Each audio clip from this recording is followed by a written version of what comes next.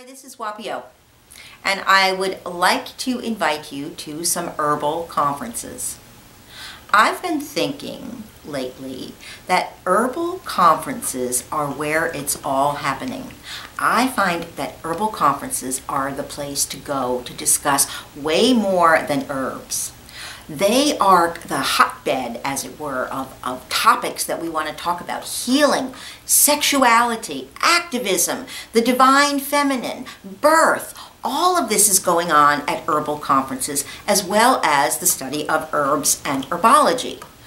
I'd like to invite you to join me in Wisconsin this summer, all right, for the Midwest Women's Herbal Conference, June 3rd through the 5th.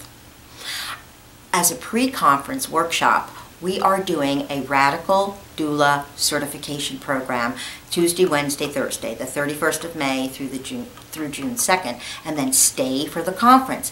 Take a vacation this year. Take a 6-day vacation. Enjoy yourself, all right? Have fun at a conference. Talk about things that really matter at the Midwest Women's Herbal Conference in June, we're having Susun Weed and Winona LaDuke, among uh, many other wonderful and prestigious teachers. So take a look at the boxes below, go follow the links and go to each of these conferences, see what you think. All right, another conference that I'll be attending is the Southeast Women's Herbal Conference. This is in October in Black Mountain, outside of Asheville in North Carolina. And that will be October 14th through the 16th.